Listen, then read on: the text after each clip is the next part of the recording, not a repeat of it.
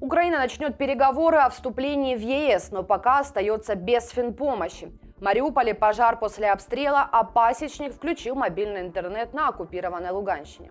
Я Екатерина Ковальчук. Это итоги 660-го дня полномасштабной войны от команды новостей Донбасса. Ставьте лайк, мы начинаем. Венгрия наложила вето на решение ЕС о выделении Украине экономической помощи. Премьер-министр страны Виктор Орбан заявил, что не поддержит пакет в 50 миллиардов евро до тех пор, пока Евросоюз не выплатит все средства, замороженные для Будапешта. Итог ночной смены. Вето на дополнительные деньги Украине. Вето на пересмотр многолетнего бюджета. Мы вернемся к этому вопросу в следующем году на саммите ЕС после соответствующей подготовки. Информацию о том, что лидеры стран ЕС не смогли договориться о включении помощи Украине в бюджетный план Евросоюза, подтвердила глава Европейского совета Шарль Мишель. Он добавил, что к рассмотрению вопроса ЕС вернется в начале следующего года. Сам же Орбан в одном из своих интервью заявил, что, цитата, «это отличный повод для Венгрии дать понять, что она должна получить все, что ей принадлежит». В то же время премьер-министр Нидерландов Марк Рютте выразил уверенность, что лидерам ЕС удастся договориться о долгосрочной помощи Украине в следующем году. Стоит отметить, что в другом, не менее важном вопросе Виктор Орбан все же уступил. Вчера во время голосования о начале переговоров с Украиной о вступлении в ЕС он покинул встречу. Это позволило лидерам ЕС принять позитивное решение, которое требовало единогласия всех стран-участниц Союза. Как пишет политика, уйти Орбана со встречи убедил канцлер Германии Олаф Шольц. Он якобы предложил Орбану выйти из зала заседаний и попить кофе, пока лидеры других стран ЕС обсуждали вопрос Украины и решение было принято.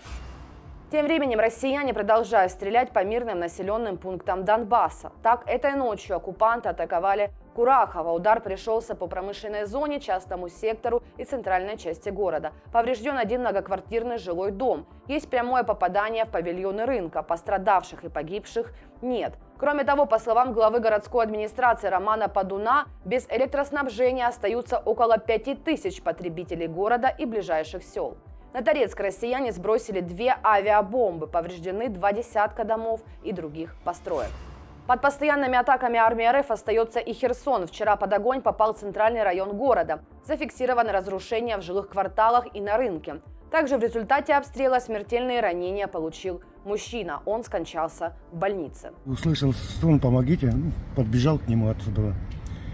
Вот, он лежал. Но крови не было. Вокруг я обшарил, потом жена его позвонила. Говорит, побудьте рядом, я побыл, пока скорая приехал. А когда приподняли верхнюю одежду скоро, там уже было видно рана.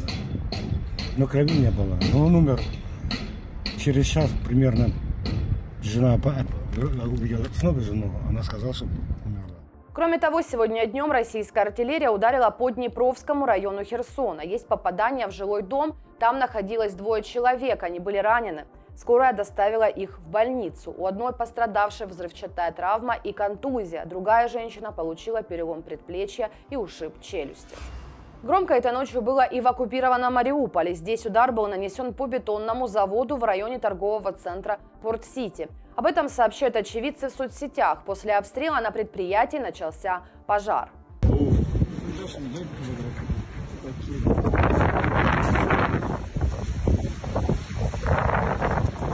пор зарево. Прямо на скате чуть сегодня перевернул стол, прям подпрыгнул.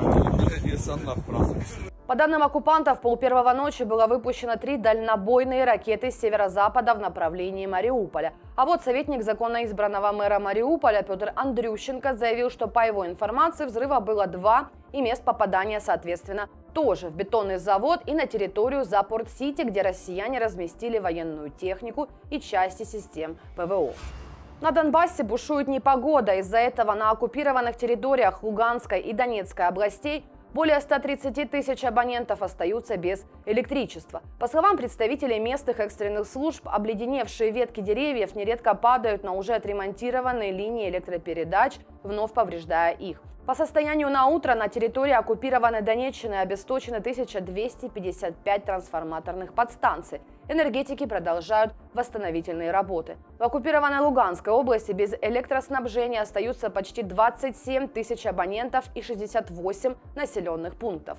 На подконтрольной территории сегодня произошла авария на высоковольтной линии, которая питает электричеством Константиновку. В результате этого с трех утра в громаде нет света. Также жители жалуются на перебои в мобильной связи. Также приостановили работу котельные в Дружковской громаде. Их работа уже восстановлена.